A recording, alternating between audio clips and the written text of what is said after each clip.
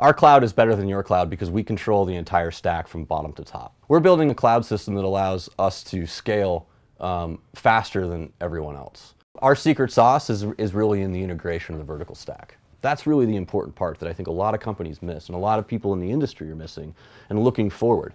Because we control that same vertical stack all the way from top to bottom, we can we can improve efficiencies at all of those layers. Traditional data center companies, traditional cloud provider companies don't own the full stack from top to bottom. So what they have to do is they have to work within the restrictions of what somebody else has defined for them. We, we aren't beholden to everyone else's restrictions. We get to define what we want our thing to look like fully from top to bottom because we control that stack.